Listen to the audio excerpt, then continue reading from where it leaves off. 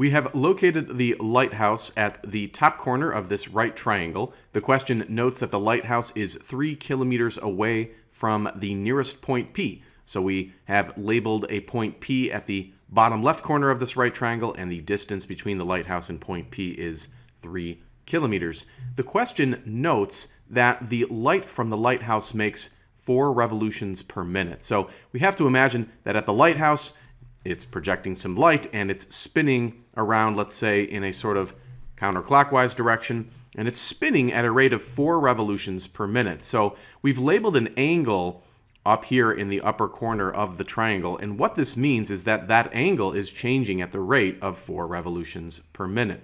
And because that is a rate, we're going to use derivative notation. So in other words, we're saying that the rate of change in the angle is equal to 4 revolutions per minute. We can say 4 revolutions per 1 minute. The challenge right now is to get this into the standard unit of radians per minute, and that's a relatively easy task because we hopefully know that one revolution is equivalent to 2 pi radians. And so if we set up this little conversion factor, the revolutions are going to cancel out, we multiply the 4 times the 2 pi, and we end up with 8 pi radians per minute. So that's going to be the standard value of our d theta dt. That's, again, the rate of change in this angle as the lighthouse is spinning around in a counterclockwise fashion. So we have that value right here. The next challenge is to come up with an adequate equation. There's a couple of options here, but the option that might be the path of least resistance is going to be the tangent function. So take a look at the right triangle, and we know that the tangent of that angle theta will equal the opposite over the adjacent, opposite over adjacent. So if we go opposite to theta, we see that the side is marked x, and then the adjacent side, adjacent to that angle, is 3. And so we can actually rewrite the right-hand side a little bit because it's going to make taking the derivative easier. Instead of x over 3, we're just going to call that 1 third x. So there's our equation, and after establishing that equation, we need to differentiate it. We need to take the derivative with respect to time. So that's our next task. Now, we hopefully know that the derivative of tangent of theta is secant squared of theta. But because we're differentiating with respect to time, we have to apply the chain rule, and we have to multiply by the derivative of the inside function, which is just theta. We have to multiply by the derivative of that inside function with respect to time. So that just means we have to multiply by d theta dt. So that would be the complete derivative of tangent of theta with respect to time. The other side we also have to differentiate with respect to time. Now we all know that when we do the derivative of 1 third x, we just have 1 third. But again, we're differentiating with respect to time. So you can think of the x as being in its own little set of parentheses here, and we have to, according to the chain rule, multiply by the derivative of that variable with respect to time. So that would be dx dt. There we have it. And now we want to figure out what we're actually trying to solve for here. So we'll go back, and it says, how fast is the beam of light moving along the shoreline when it is one kilometer from P? So you can imagine it a particular moment in time, the light is beaming out from the lighthouse right to this spot here. And at that moment, that beam of light is traveling horizontally in this direction. And so our job is to find how fast that beam of light is moving along the shoreline when it is one kilometer from point P. So we have to express that in symbolic notation. How fast? How fast indicates a rate. Again, we're trying to figure out how fast that beam of light is moving horizontally. We can see that that horizontal distance is labeled x, and again, it is a rate. So we have to use derivative notation for rates. That question is asking us to find dx dt.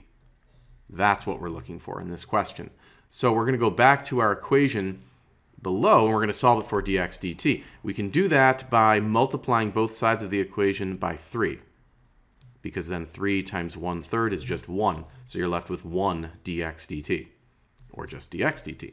So here is the equation we need, and we can see that in order for us to solve this, we need a couple of values. We need d theta dt, but we have that. We figured that out above. That was 8 pi radians per minute. So we're okay there. But what we need is the secant squared of theta. And so let's talk about that for a moment. We probably learned in a pre-calculus class a certain trigonometric identity of sine squared of theta plus cosine squared of theta is equal to 1. And we probably have also learned that if you divide each term of that identity by cosine squared of theta, then you can get a new identity. So sine squared divided by cosine squared is tangent squared. Cosine squared divided by cosine squared is just 1. And then 1 over cosine squared theta is secant squared of theta. And this is nice, isn't it? Because secant squared of theta is part of our original equation over there. We can see from this identity that secant squared of theta can be substituted with tangent squared plus 1. And it turns out to be a convenient substitution. So that's what we're going to do next, is we're going to do 3 times, and we're going to substitute secant squared of theta with tangent squared of theta plus 1.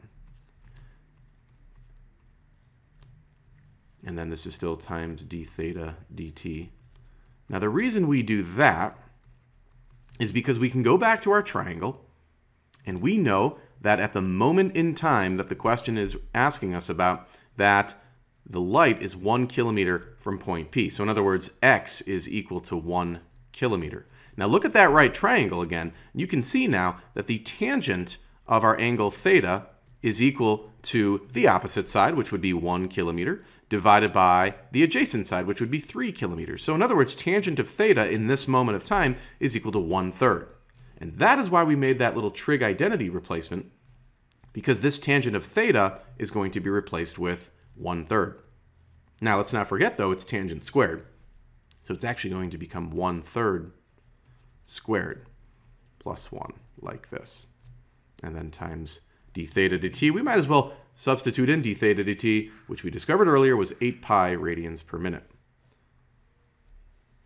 We'll just call it 8 pi. We'll omit the units for the moment for clarity, and then we'll figure out what the units are momentarily. So now it's just a matter of simplifying this.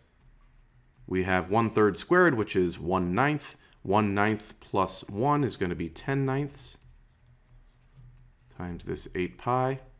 And now we just have to multiply all the numerators together. So 3, 10, and 8, along with the pi. So that's going to give us 240 pi, and then it's over 9.